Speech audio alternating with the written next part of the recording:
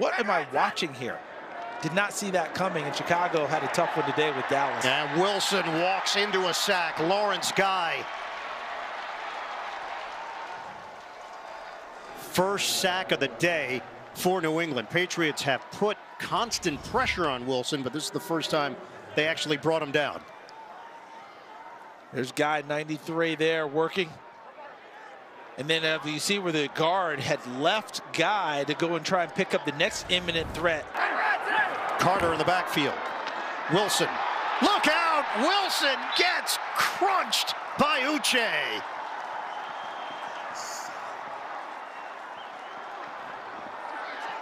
And the clock continues to move down to 2.10 remaining.